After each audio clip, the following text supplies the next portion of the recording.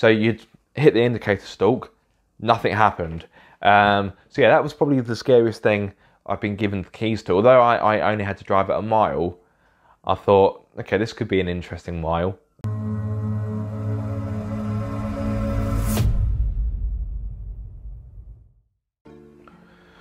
Oh, hot.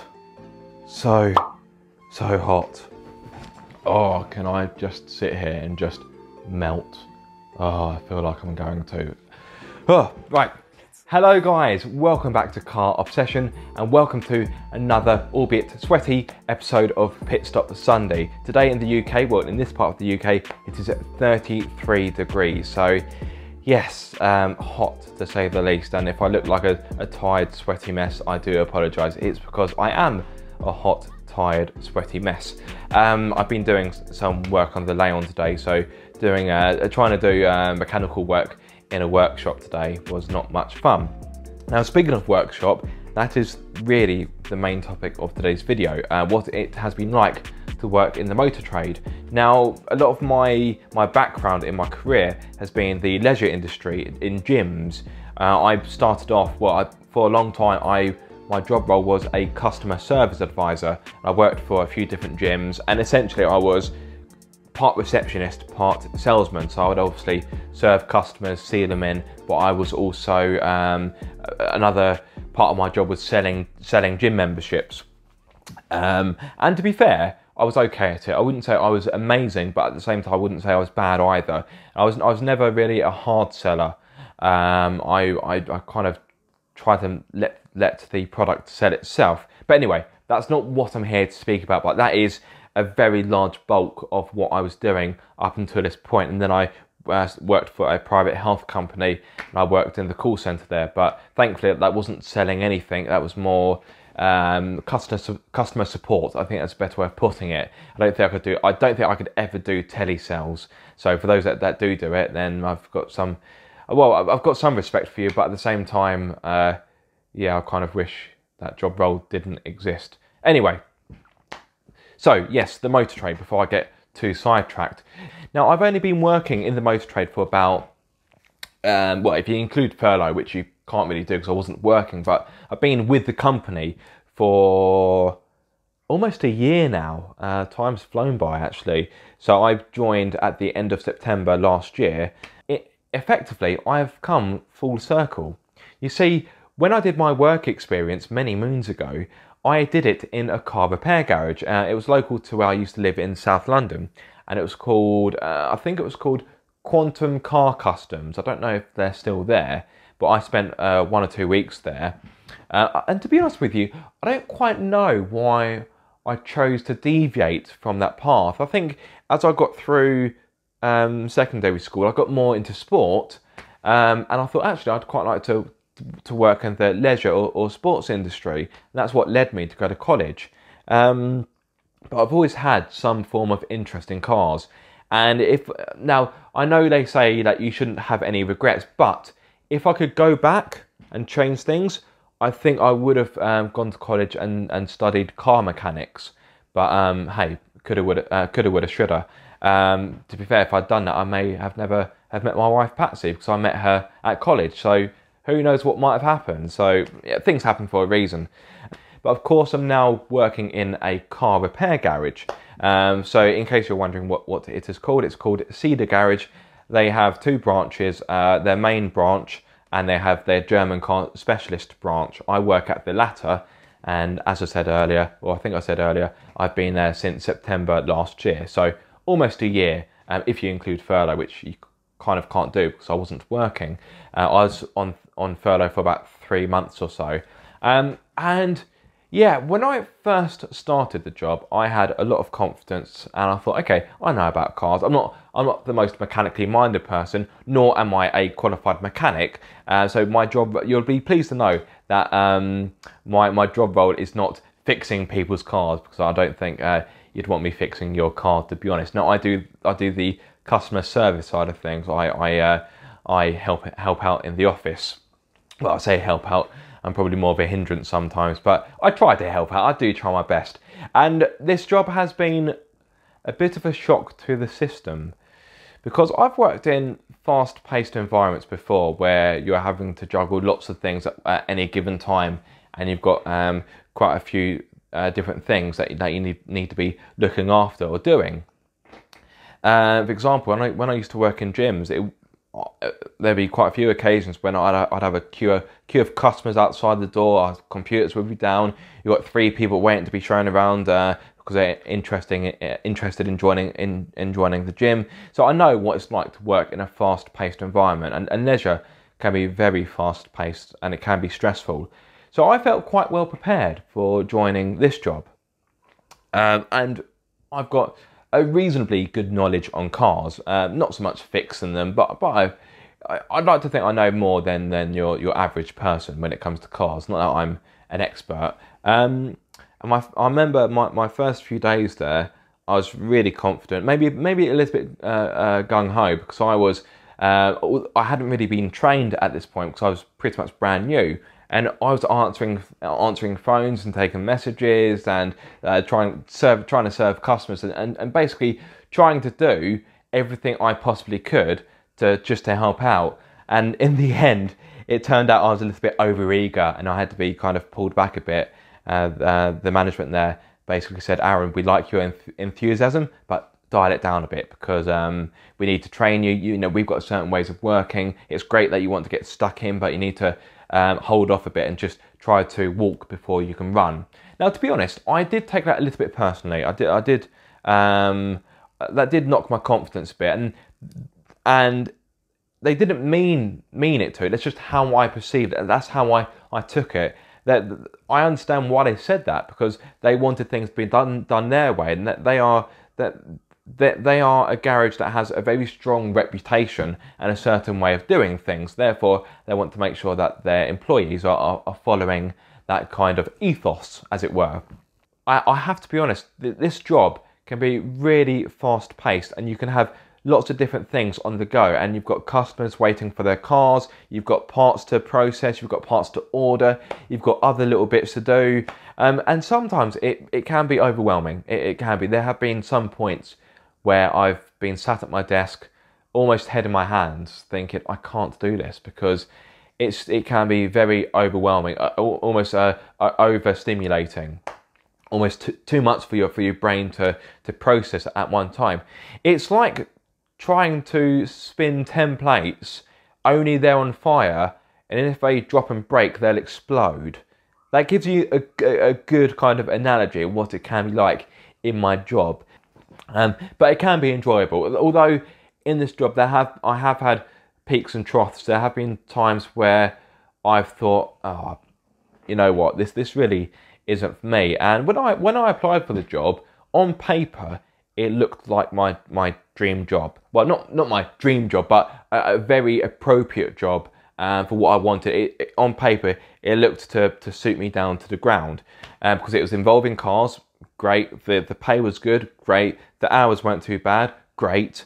Um, it was really local. In fact, I, I can walk to work, um, which is very handy indeed. And everything just looked really good. Uh, and then, there, uh, and but there have been some times where uh, I I have struggled in the role, um, but there has been a decent amount of support around me. And to be fair, the the garage has been very patient with me. I think other businesses may have just sacked me off by now. and I must admit, I was on furlough for so long, I actually talked myself into thinking that they were just going to make me redundant because I was a little bit useless. Um, when I went back to work after being on furlough, that was a shock to the system because I forgot, although I was only off for a little bit of time, I forgot just how busy and fast paced the uh, the workload can be. And yeah, it, it, when I went back, I was overwhelmed uh, to the point where I thought I was close to breakdown, even though I'd only been back for a few weeks. And one thing I will say about my job is that you need to have confidence to do it. But yeah, it has been it has been a steep learning curve. I think that's the best way of putting it. Um, but yeah, I am grateful that they have been patient with me. Um, because some days I, I, look back at myself and I think, you know what, if I was my manager, I probably would have got rid of me or found an excuse to get, get rid of me. Uh, but hey, that's probably me being harsh on myself. I, I am and always will be my, my own worst critic. Uh, that's just a part of who I am. Sorry, I need, do need to take a drink. I'm parched.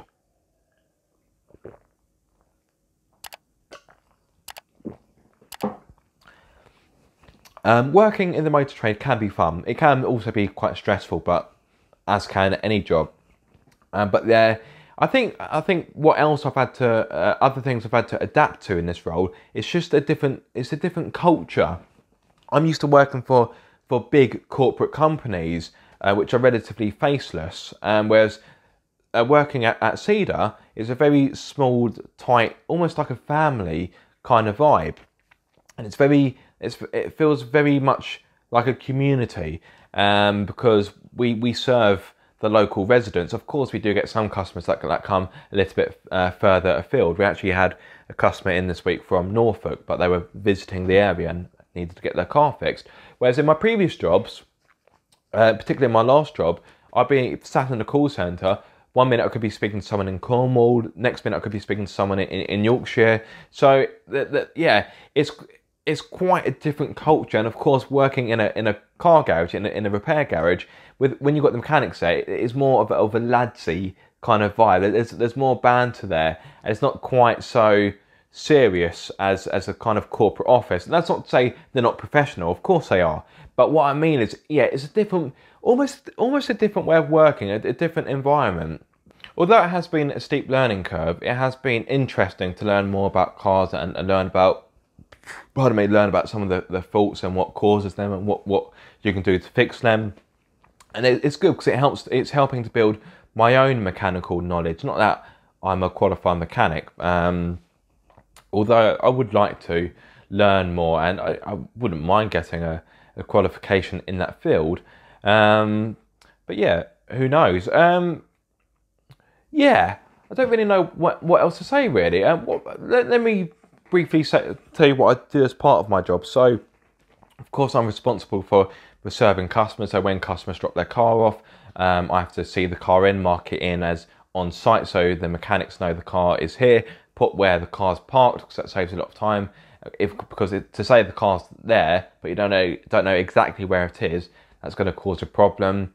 Uh, also responsible for picking up the phone, ordering parts, uh, processing parts when they come in, returning parts we don't need or that, that may be incorrect. Uh, which doesn't happen that often, but it does happen. Um, I'm responsible for upselling. So if if we get a car in for a service and it turns out that I don't know of the coil springs is broken, for example, I give them a ring and say, "Oh, just so you know, your coil spring's broken. We would advise getting getting that fixed. Uh, it would cost you X amount." So that's part of my job as well. Um, and just general customer service um, bits and bobs, really. Um, yeah, it, it has been a bit of a roller coaster. I think that's the best way of putting it. But I must admit, the last two weeks um, have been better because I've, I've been more confident. I've, I've had more self belief, and that's really helped because when I don't have self belief in my job, then then that can be a bit of a nightmare because it's difficult to to get that motivation for, for me to, to kind of do my job properly. Um, and also when I don't have that self belief, I, I almost second second guess everything I think I'm doing. So I, I asked you guys to, to submit some questions into me in regard to uh, what it's like to, to to work in the motor trade and what my experience has been so far. So I thought I'd go through some of them. Um, so so I've got um, is the place you work in repairing any electric cars? Uh, what do you think the future of repair garages will be when more cars are electric in the near future? So, at this moment, moment in time, as you can imagine, we don't see many electric cars in. Uh, whilst I've been there, we've had two. We've had a Tesla and we had a BMW i3. Um, so, there's, at, if I'm not mistaken, there's only one technician who can work on electric cars at our site, and he is our master technician. Um, he's also um, the the co-owner uh, uh, of the company. Um, so yeah, we we don't get many electric cars in, but when we do, um, yeah, it's that technician who who looks after them. Uh, in regard to uh, what do you think? Well, what do I think the future of repair garages will be when more cars are electric in the near future? I suppose for a certain to a certain degree, it'd be a bit easier because you won't have an engine you need to service, so it'd be well, I imagine it'd be easier. Well, in some ways easier to work on, but other ways harder because they're a bit more alien, I suppose. They're not your your normal car. I know electric cars are getting more and more popular, but um, from well from the point of view from the garage I work at, we don't see many very often. So yeah, we've seen two in the time I've been there. That, that gives you an idea of, of how uh, how rarely we get them in. We do get a few hybrids, but again, those are quite rare, and there's only certain technicians um, who can work on those as well.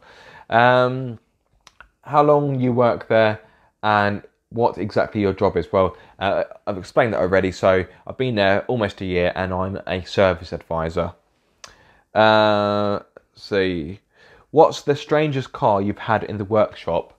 Um, now this will shock you. I can't think of anything we've had that's been really strange. Uh, we did have a a imported Mercedes. I think it was like a like a camper van. It was a V class. It was. I don't think it was a model that was actually sold in the UK, but we had one of those in yesterday. Well, I say yesterday. Um, I'm filming this on Saturday, so yesterday would have been Friday. Uh, that was a bit strange because it was really difficult to get parts for it because the the number plate, although it had a UK number plate, it didn't. It doesn't actually register to anything because it's a Japanese import. So yeah, that was fun in games because the parts we got for that were wrong. So we we had to reorder some of the parts. Yeah, that was a challenge. But I can't think of anything strange we've had him. Um, let's see what else have we got.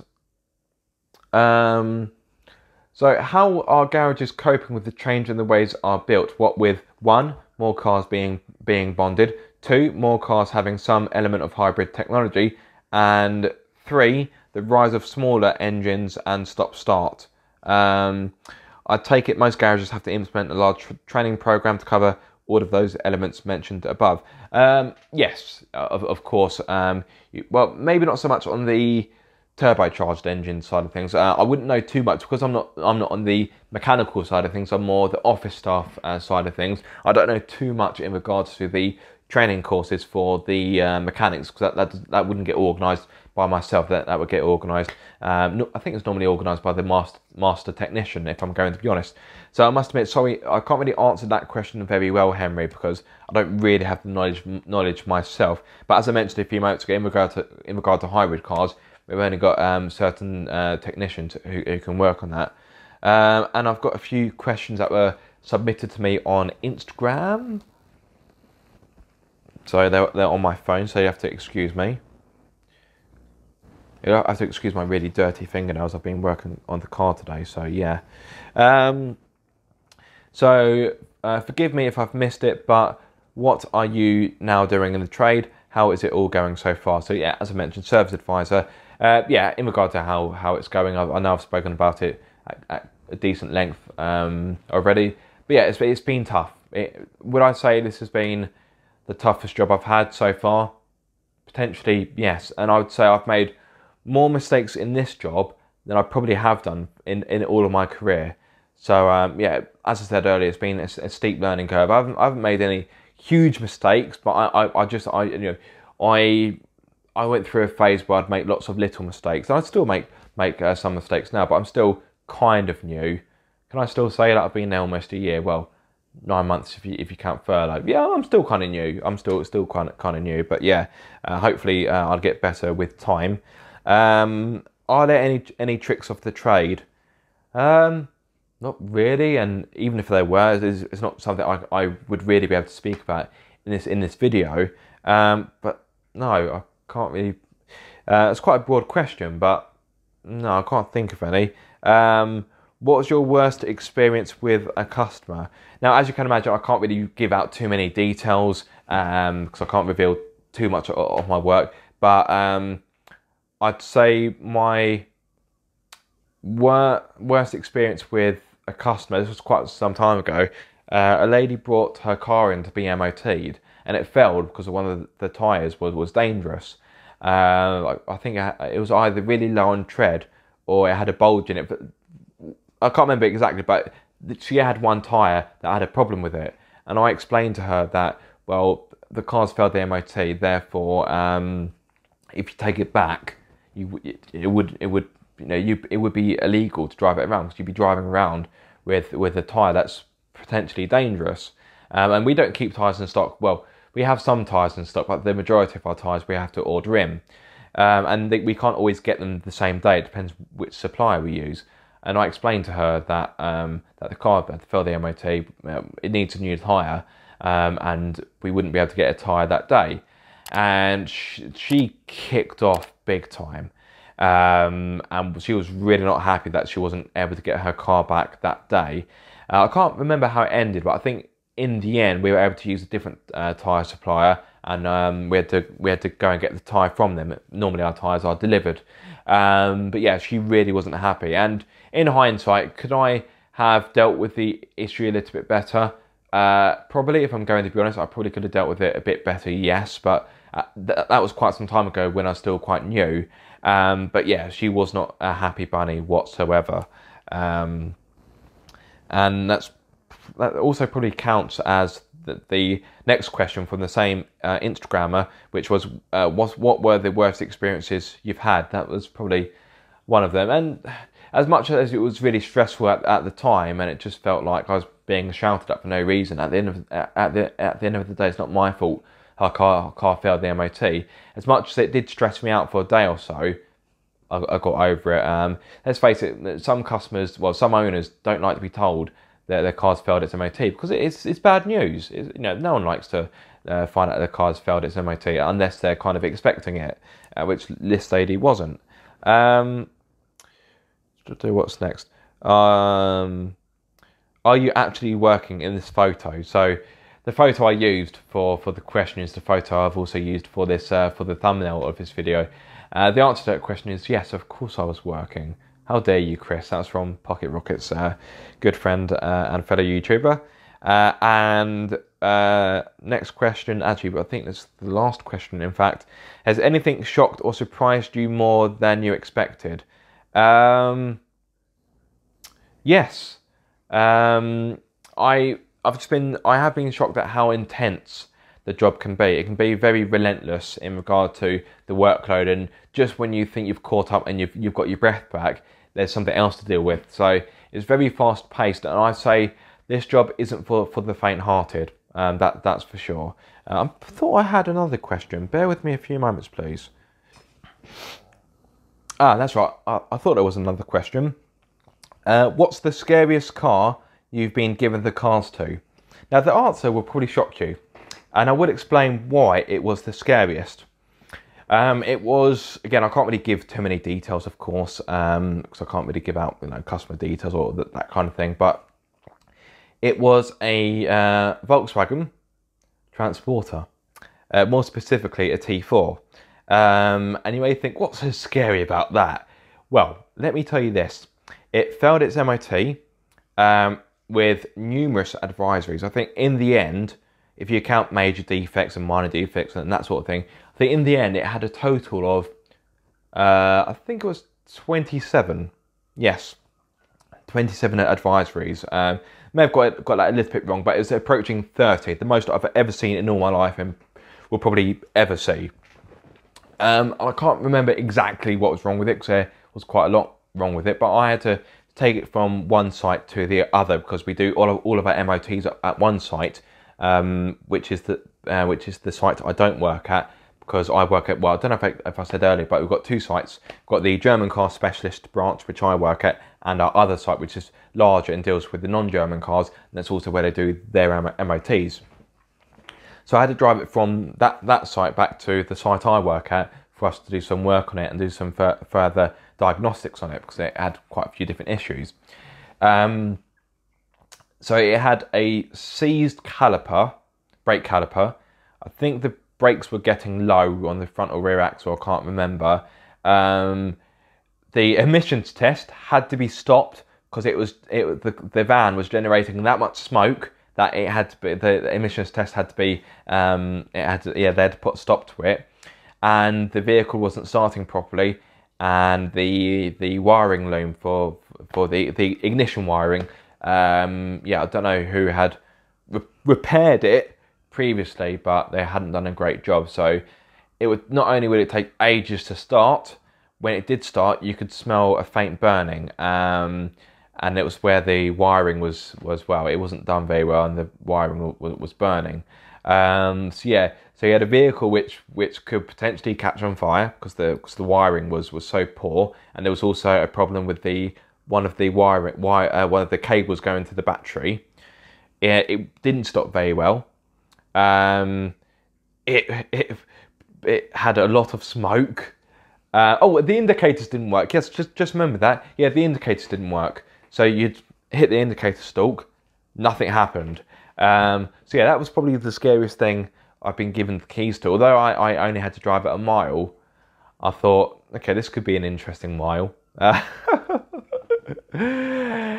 yes, um, that is the scariest thing I've been given the keys to. I, have had the, uh, the, great fortune to, to, drive some some interesting cars, uh, and I would love to I would love to to document them, but of course I can't because that, you know, that wouldn't be fair because um, they're customers' cars, um, and that would be quite irresponsible of, of me to do that. Uh, but yeah, I've, I've, driven a few interesting cars. I've driven an old Scirocco. Uh, I've driven a BMW Z3M. That was that was nice, really nice. Um, yeah, uh, I've driven I've driven a Tesla. What else have I driven? Uh, I drove an old Seven Series um, this week. I drove a relatively modern smart car for the first time this week. I didn't like it. Um, yeah. So what I like about this job is the variety. You, you never quite know how each day is going to go, and it's interesting to see the different type of types of cars we, we get in. Uh, as you can imagine, us being the German car specialist, we do get some nice cars in. We had a uh, C63 estate in last week. I think we've got another C63 coming in next week. Uh, we had an RS4 in. We've had uh, we had a McLaren. Uh, uh, McLaren. What am I on about? No, we didn't. Well, we have had a McLaren in, but not whilst I've been in the company. Sorry, a Mercedes uh, AMG GT. That was very nice. Mm. We get a few 911s in. Um, what else have we ha- have we had in? Uh, we had a, a, not quite exotic, but interesting for me. We had a uh, Volkswagen Golf GTI Edition 30 that was in this week. That was nice. Um, yeah, we do get a good mix of, of interesting cars that, that come in, and uh, every now and then we do get something a bit exotic. Um, yeah, so that's really it. Really, I don't know don't know how long I've, I've been speaking for, but yeah, that's uh, that's basically what it's been like to work in the motor trade. Um, in a nutshell, it's tough, intense, not for the faint-hearted stressful, but it can be it can be fun and and there can be good banter.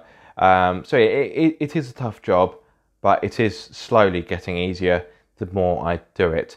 Um, so before I turn into a, a, puddle of sweat, I will go through uh, some of your comments for the last uh, few weeks or so. Just quickly, I want to interrupt myself before I go through the YouTube comments because earlier I completely forgot to speak about a scenario that happened this week, which is quite weird and surreal. So, a customer dropped off his car, nothing unusual there, but then he paused for a few moments and said, You look familiar. At which point I was a bit surprised and said, Do I? And he said, um, You do YouTube, don't you? And I was like, Yes. In my head, I'm thinking, This is getting weirder. Um, and he said, um, Oh, uh, remind me, what's the name of your channel? And I said, oh, it's Car Obsession. He went, yeah, that's it. Um, yeah, and I've watched one of your videos. At that, that, point, I was quite humbled and thought, oh, this is really cool. Um, and I asked him, what video did he watch? And he said, oh, it was, it was your review on the Ford Focus ST Estate. And I just thought that, that was really cool. It's quite rare that I get recognised anyway. Uh, but to be recognised at work, which has never happened before, was just yeah quite surreal. Uh, and, and even more surreal when you consider that a few days before that, earlier this week, uh, I actually thought to myself, I wonder how long it will be until a customer recognises who I am. And then a few days later, it happened. So yeah, uh, super weird. And just a, another little anecdote on that matter, actually. My previous manager, who who now works for for a different company, when I first joined Cedar, he said to me for quite some time, I know, I know, I'm sure I've seen you before. I, I know you from somewhere, and he couldn't work it out. And, and I, I, think, I think this actually bugged him quite a lot. Then one day, he came in and said, "I've worked it out." uh, and I said, "What do you mean?" So I, I, I, I know where I know you from. I thought, "Oh God, this sounds ominous." And he said, "Oh, no, I was watching one of your one of your videos, and you went to the um, Goodwood Breakfast Club when it was Supercar Sunday, didn't you?" I said, "Yeah." This was two or three years ago um, that, that, I did that vlog, and he said, "No, I uh, I remember I, I went to that event. I saw you filming, and there's actually a point in the video where I paused it, and you can see me in the background. It's a little bit blurry, but um, and he actually brought the video up, and you could see him in the background. So yeah, that's really weird because he was my manager, and but he had known well he had known me uh, before I'd started working there. Um, yeah, that's that's really quite quite bizarre. But yeah, he took him quite a lot, quite some time to work it out. But where uh, I think he was quite pleased that he did because it was probably kind of nag, nagging away at him. But yeah, again, that's quite surreal. Anyway, let's move on to the YouTube comments. Right, so I want to kick off with um, a YouTube user by the name of NB. Um, and I thought this was quite an amazing story, so I wanted to share it with you guys. So he or she uh, commented on my uh, throwback review with the Leon, uh, and they originally put, I bought a brand new Leon Cupra in 2008 and sold it in 2010 uh, because of uh, a growing family. I miss it so much. And I asked what he bought instead, and this was his response. Um, just hear this. Uh, I replaced it with a new 3 Series Touring, but a little update on this. Uh, it sounds unreal, but after looking at the Cupra videos last week, I managed to source my old Cupra and I've convinced the owner to let me buy it off him. Uh, I'm getting my old car back after 10 years on Friday. Ah, how crazy is that? So this guy or, or lady uh, sold their car uh, and then bought it back 10 years later incredible stuff. You, you couldn't make it up. You, you really couldn't. Um, so yeah, it looks as if my my Cupra videos uh, persuaded that person to, to, get back into a Cupra. So yeah, that's, that's really cool. I, I really uh, I really like that comment. Uh, right, what's next? Now this one made me laugh. Um, as much needed because I was on my way um, to seeing Patsy in the hospital, so I needed a, a bit of a giggle. Um, a bloke by the name of Henrik Larsson. Is that the Henrik Larsson? Wasn't he a footballer? Played for Celtic. And Sutton sets up Larsson here. Larsson. Oh, he's in! Henrik Larsson! That is sensational! It was Celtic, wasn't it? Uh, yeah, uh, Swedish uh, striker. Very good. It was Henrik Larsson. Is that the same person? Could be, probably not. Anyway, I digress. Um, he commented, I thought he was as drunk as a sailor. Turned out my playback speed was 0.75 for some reason. and, and I, I, was really concerned when I read the first part of that message. I thought, did I really sound drunk in the video? How's that happen? But yeah, it turned out his, his playback was was set to uh, slower than normal, so it was probably, um, yeah, I actually I want to I want to hear what that sounds like. I'm intrigued now. I can you can change, change playback speed. I've got to hear this. My office just 430 litres, or if you want to compare it to the Honda CR-V Hybrid I had last week, that had 497. So the Focus is a clear winner here. The load lip is quite low.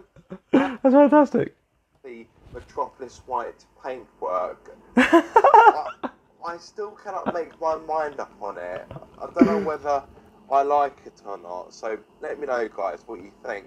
Anyway, yes, back to the engine. I have. That's fantastic.